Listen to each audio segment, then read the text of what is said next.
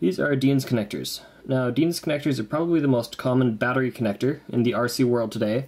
So today I'm going to show you how I solder them. There are a few ways to solder these connectors, but I'm going to show you the way that I believe is, or at least has worked the best for me. What you're going to need is just the basic stuff, the connector, some wire, this is just some 12 gauge silicone wire from Hobby King, some heat shrink tubing, uh, like 4, 5, or even 6 millimeter tubing should work fine. It all depends on the type of wire you're using. I think this is 5 or 6 millimeter tubing, but can't be sure. Some 6040 rosin core solder.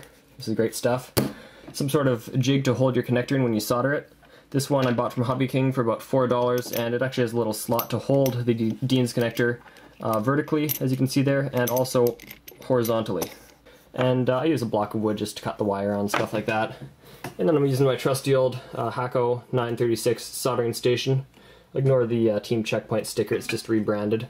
But it's a great station, highly recommended. And I have it set to around 750 degrees Fahrenheit.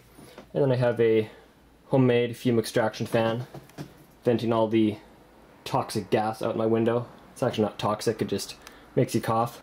The first thing we're going to do is strip and tin our wire. Now, I use a knife for stripping wires, but wire strippers work probably better, but this is just easier in my opinion. Just roll the knife back and forth a couple times, and then the wire or the silicone should pop right off like that. And then to tin the wire, we're just going to heat the wire up and feed solder into it, like so.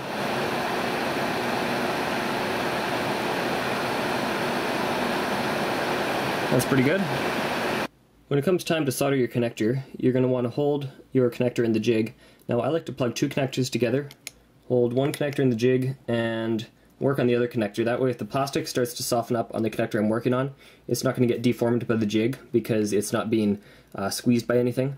The next thing you're going to want to do is pre-tin your tabs. So to do this, just apply a little bit of solder to your soldering iron, like that. Touch that to your tab, and just fill the tab up with a little bit of solder. You don't need to go overboard here. Just about like that. This next step is very important. You want to cut a little bit of heat shrink tubing, about that long. I'm not even going to go into the exact lengths, just enough to cover up the solder joint and then a little bit more. And just slip it on the end of your wire because once you solder this on here, you don't really have access to the end of this wire anymore, and likely not the other end either. What we want to do here is heat both the wire and the tab up at the same time, and then once the solder on both of them are molten, we're just going to move everything around, put the soldering iron on top of the two, and just hold it together for a couple seconds and remove the heat. I'm just going to pre-tin both sides of my iron and here we go. Heat both of them up. Wire usually takes a little bit longer. And the tab. And one, two, there we go. So hopefully you can see that there. It's a really nice looking joint.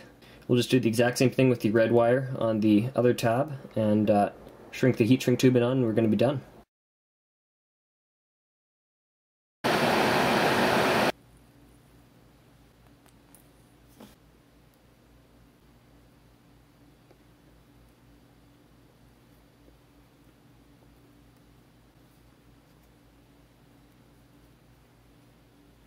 Go ahead and take a jet flame lighter and just shrink on your heat shrink tubing. If you have a heat gun that works too, but not everybody has one, so I'm just going to use a lighter.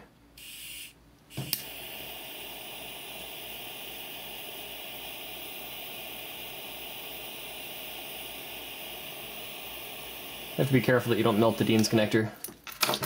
And uh, yeah, there you go. That's a Dean's connector that will not come undone anytime soon. Hopefully that was uh, helpful, and now you know how to solder Dean's connectors. Uh, yeah, thanks for watching.